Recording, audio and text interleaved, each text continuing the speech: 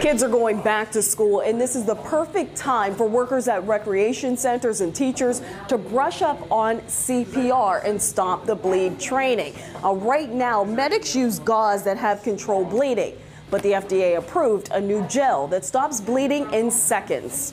On Father's Day, Charles Pitts Bonner had to put his skills as the head lifeguard at the Ammon Recreation Center to work quickly. With a team of others, he says he saved a man after he had a heart attack while swimming. I was able to do four cycles of CPR.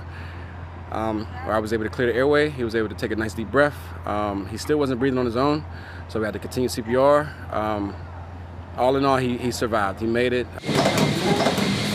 The city of Pittsburgh and Allegheny Health Network are working together to teach people CPR at the center. The city always provides these kind of trainings for, for folks that need to get either reacclimated or acclimated into how to save a life. And engage them in Stop the Bleed training. So we'll go to schools, we'll go to community centers, um, businesses, we'll go wherever. This group focuses on youth athletic coaches like Ozanam basketball program executive director Daryl Porter. This year they're inviting football and some other community organizations. That's an opportunity to teach people how to stop life-threatening bleeding um, because you could die within three minutes. Um, so we're going to teach them how to hold direct pressure on a wound, how to pack a wound, and how to recognize the difference between bleeding that's not life-threatening and one that is, and potentially how to use a tourniquet.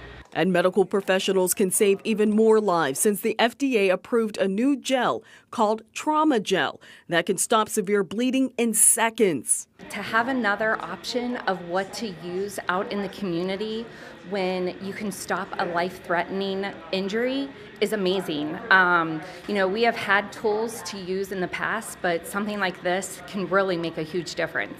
The company says trauma gel should be available by the end of this year. Reporting in the Hill District, Chandy Chapman, Pittsburgh's Action News 4.